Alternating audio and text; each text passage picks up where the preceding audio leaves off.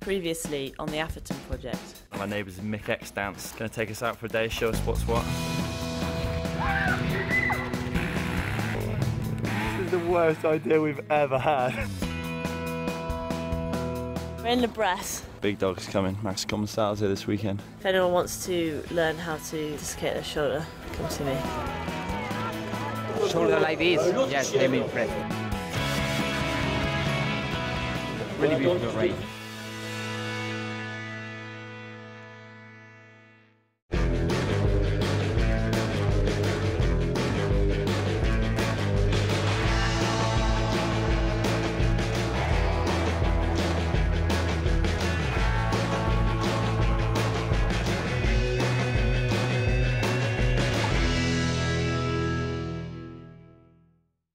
Val di Italy. Last round of the World Cup Series. Goal is to, um, you know, press on, try and push for a good result. You know, it's not like I need to, you know, be super protective of that third place. It's, you know, if I lose it, it's not the end of the world. Treat it as an individual event. You know, not thinking of uh, points really. First day of practice, Val di Sole, Valley of the Sun. Living up to its name, it's half nine, it's about 100 million degrees.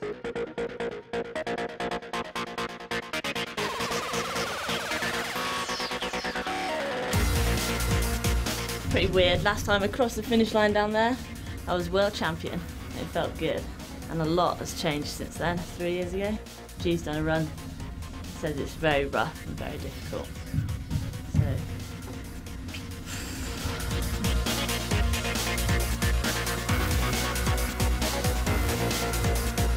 Well, still sitting third overall, which is surprising since I missed qualifying in Le Bresse. I think I would just like to hold on to that position, you know. I would obviously like to win, but I think I'll be real happy with the top three. Everyone's strong and it's a hell of a long track. Yeah, the championship's not really uh, something on anyone's mind anymore. So just racing it like an individual event, you know.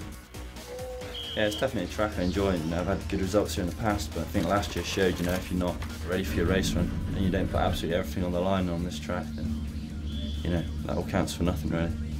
You do have to push pretty hard on this track.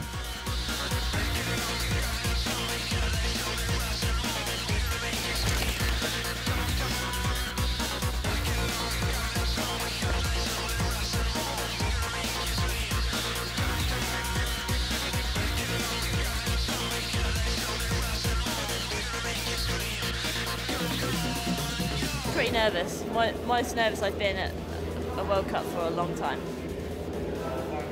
Yeah, going up for qualifying run and I am pretty nervous. Well, well.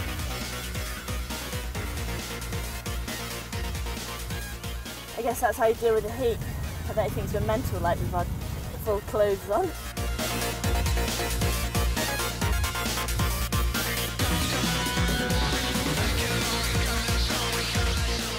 Rough and gnarly and hot and dusty. Proper taxing. But I'm uh, feeling good. I'm feeling it.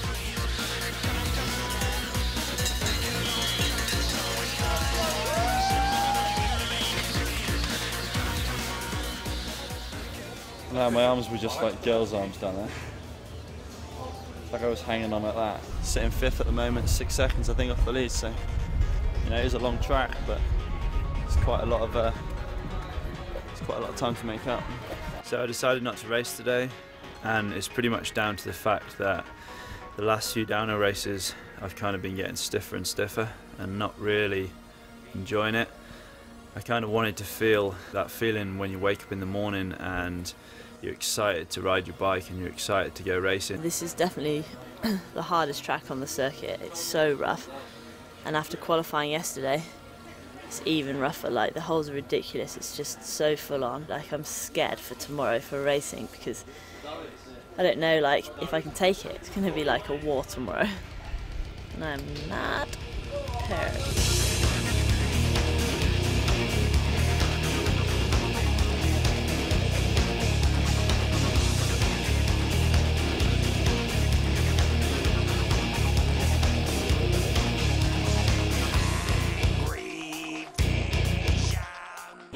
Race done and dusted. I'm stoked to end up third. Absolutely stoked that Pom Pom won. She's such an impressive ride. I had a good run, like pretty pretty awesome run to be fair, like fastest of the weekend. It was tough, like real tough track and it's glad to make it to the finish. I'm looking forward to this winter to get fully stuck in and just hit it hard. Like yeah, it's a pretty inspiring season. We just watched Rach come down, me and Sam Dale were like, damn, I'm glad I'm not riding down that. It looks so gnarly. Here we go.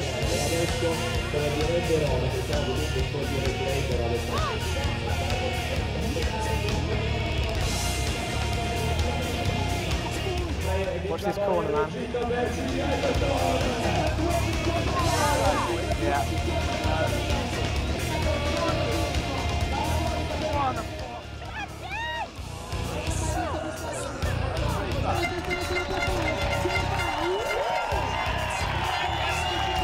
He's up by two, up by two.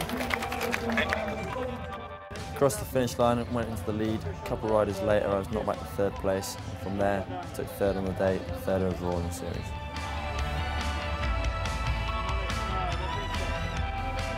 I'd like it to be. Very solid season, really.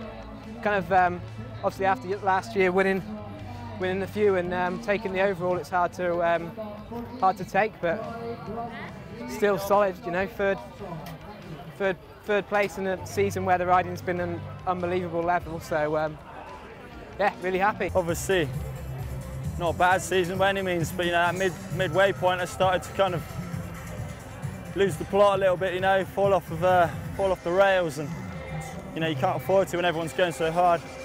So I'm kind of, you know, stoked to come back with an with a third place overall, you know.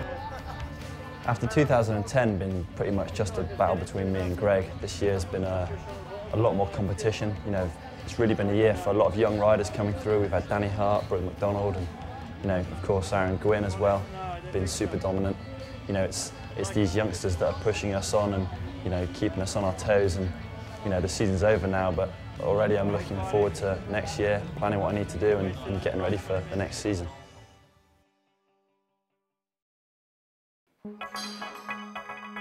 So I'm just preparing for an enduro event in Sweden, which is happening the week after Val Sol. Um, enduro is pretty much pretty much a downhill event, but it's uh, it's basically a longer a longer downhill.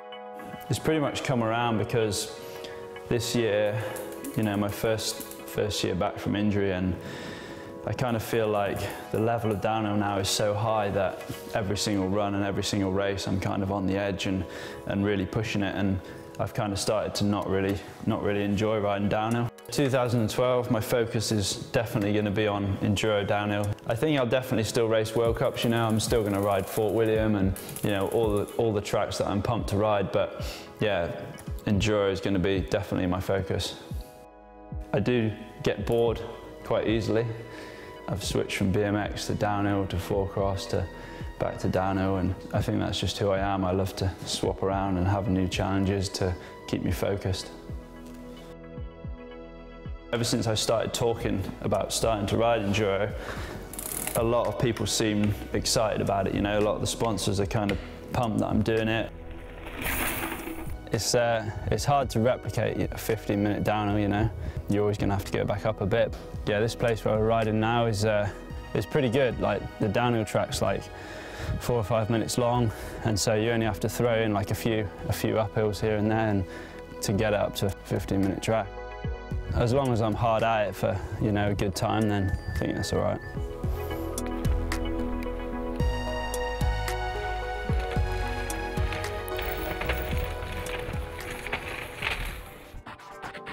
Åre is usually a pretty quiet little resort, but uh, this week uh, Mega Avalanche guys have come to town and kind of destroyed the peace and tranquility.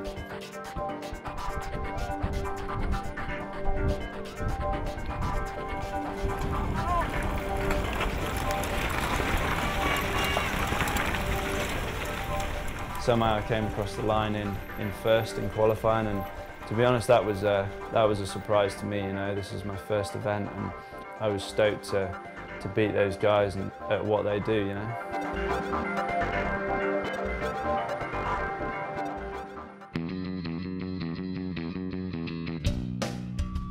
Race day morning is always a funny time. You know, you just 100% focused on on those two runs. This is quite a drawn out event, you know, you've got two 15 minute runs and a lot of preparation before the start. So as you can see, this is the view, or lack of. Tape's destroyed, blown everywhere, and it's going to be a mess. You have to be at the start about an hour and a half before you run, and then you sat on the start line for another kind of half an hour. I really didn't know what to expect, what happens in a race like this.